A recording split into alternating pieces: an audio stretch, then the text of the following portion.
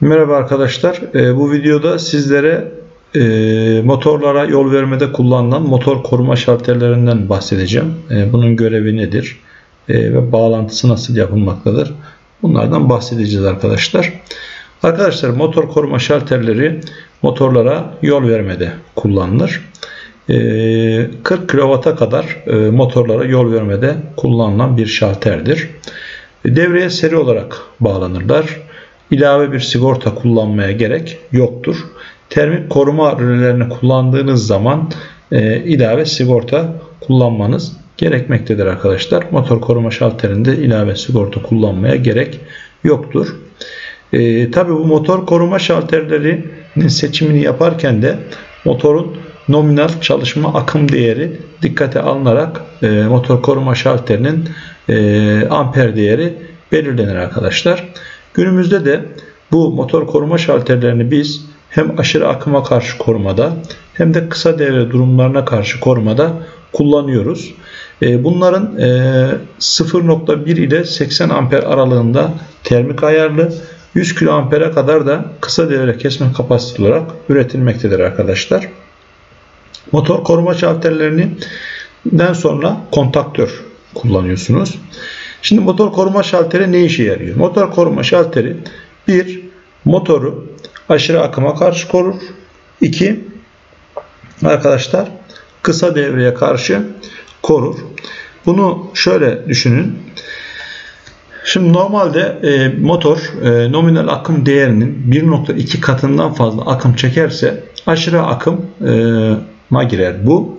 Bu durumda termik korumayla içinde bunun bir metal var. Termik korumayla ne yapar? Ee, enerjiyi keser arkadaşlar. Tabi e, bu aşırı akım hangi durumlarda olabilir? Örneğin motorun aşırı yüklenmesinde aşırı akım çeker motor. Ya da fazlardan biri koparsa iki fazla yüke biner. Bu durumda aşırı akım çeker. Ya da motorun Döndürdüğü kısım sıkışırsa arkadaşlar bu durumda da motor ne yapar? Aşırı akım e, çeker arkadaşlar. Tabi bu e, ne yapıyorsunuz? Motor koruma şalterin üzerinde arkadaşlar bir skala var. E, bu skalayı arkadaşlar yani şu görmüş olduğunuz skalayı ayarlayaraktan e, aşırı akıma karşı korumasını ne yapıyorsunuz? Sağlıyorsunuz. Yani aşırı akıma karşı korumada motor koruma şalterini el ile manuel olarak ne yapabiliyorsunuz? Ayarlayabiliyorsunuz. Şimdi motor koruma şalteri bir de kısa devrede koruma sağlar. Kısa devre nedir? Kısa devre şudur. Arkadaşlar örneğin motorun sargılarının izolasyonunun bozulması sonucunda bir kısa devre arızası olabilir mi? Olabilir. Ya da fazların sargılara fazların sargı izolasyonu bozulması sonucu faz faz arası bir kısa devre olabilir mi? Olabilir. İşte bu durumlarda da motor koruma şalteri ne yapar? Koruma yapar. Fakat burada bu kısa devre akımının ayarını el ile ne yapamıyorsunuz? Ayarlayamıyorsunuz. Bu fabrikasyon olan bir durum. Genelde de bu nominal akım değerinin 11 katından sonra ne yapıyor? Motor koruma şalteri korumayı sağlıyor. Şimdi burada Dikkat etmemiz gereken husus şu. Motor koruma şalterin içinde hem bir termik koruma var hem de bir manyetik koruma var. Termik koruma motor aşırı akım çektiği zaman için termik demek ısı demek. İçindeki bir metal malzeme ne yapıyor? Boyu değişiyor ve kontağı ne yaptırıyor? Art, arttırıyor. Manyetik korumada ise aşırı akım çekildiği zaman ne yapıyor? Bobinde bir manyetik alan oluşuyor ve bu manyetik alan ne yaptırıyor arkadaşlar? e, oradaki mandalı ne yaptırıyor? İttiriyor. Yani aşırı akım korumada termik koruma mantığıyla koruma sağlıyor. Kısa devre durumlarda ise manyetik koruma ile ne yapıyor? Motorları koruyor arkadaşlar. Şimdi bir de motor koruma şalterini arkadaşlar kontaktörle kullanacağından bahsetmiştik. İşte aşırı akım ve kısa devreye karşı koruma sağladığını söyledik. Arkadaşlar bu motor koruma şalterlerini e, uzaktan e, açtırıp kapatabiliyorsunuz ya da arkadaşlar şurada görmüş olduğunuz e, butonlarla ya da sağa sola dönen mandalla ne yapabiliyorsunuz? On off yapabiliyorsunuz. Yani uzaktan da ne yapabilirsiniz? Şunun yanına bir tane açtırma bobini modülü eklerseniz uzaktan açma, kapama yapabilirsiniz. Ayrıca bu motor koruma şalterinin şurasına arkadaşlar e, bunda burası gözüküyor bu resimdekinde. Yardımcı kontaklar bağlıyorsunuz ve böylece bu motor koruma şalterinin e, on pozisyonda, off pozisyonda olduğunu ne yapabiliyorsunuz? Görebiliyorsunuz. Yani bir SCADA ekranında ne yapabilirsiniz? Bunu izleyebilirsiniz. Ayrıca bu motor koruma şalterlerinin yanına ilaveten düşük gerilim e, bobini bağlanıyor ve böylece de eğer e, şebeke geriliminde bir düşme meydana geldiği zaman e, motorların korumasını sağlamak için de ne yapabiliyorsunuz? Bu motor koruma şalterini off pozisyonuna getirebiliyorsunuz arkadaşlar. Şimdi e, gelelim e, başka ne anlatacağız? Evet uzaktan izleyebildiğimizi söyledik. Düşük gerilim e, bobini kullanaraktan ne yapabiliyorduk arkadaşlar? Düşük e, şebeke dalgalanmasında bir düşük gerilim gelirse motorun çalışmasını engelliyorduk. Motor koruma şalterleri nerelerde kullanılıyor? İşte konveyör sistemlerinde, kompresörlerde, küçük makinalarda, vinç panolarında, havalandırma sistemlerinde ne yapılıyor arkadaşlar? Motor koruma şalterleri kullanılıyor.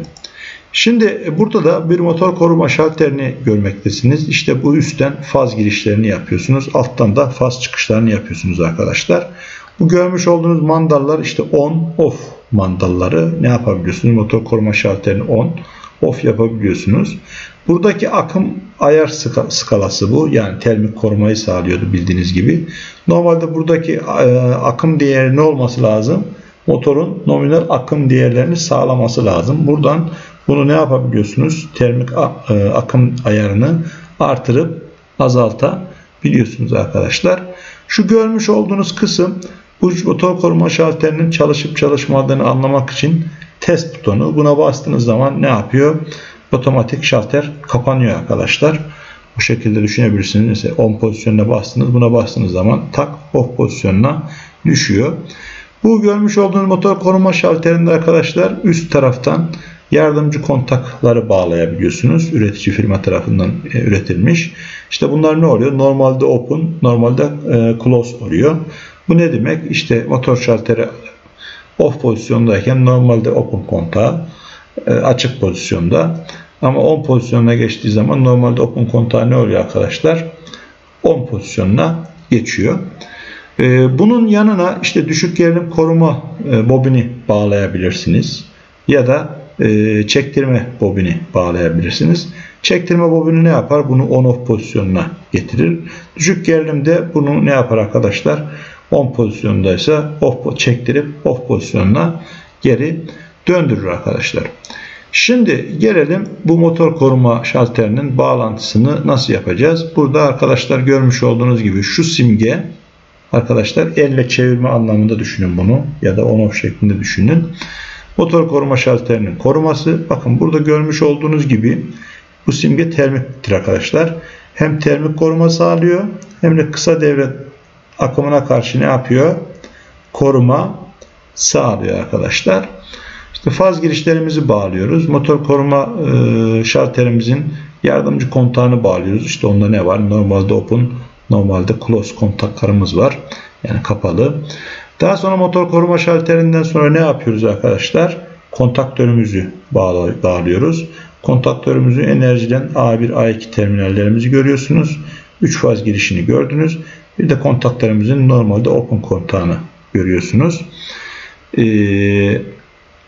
ve ne yapıyoruz arkadaşlar? Kontaktörümüzü nereye bağlıyoruz? Motor terminali girişimine bağlıyoruz. Evet arkadaşlar motor koruma şalterleri ile ilgili anlatacaklarım bu kadar. Ee, videoyu izleyip kanala abone olursanız bizleri desteklemiş olursunuz. Herkese iyi çalışmalar dilerim arkadaşlar.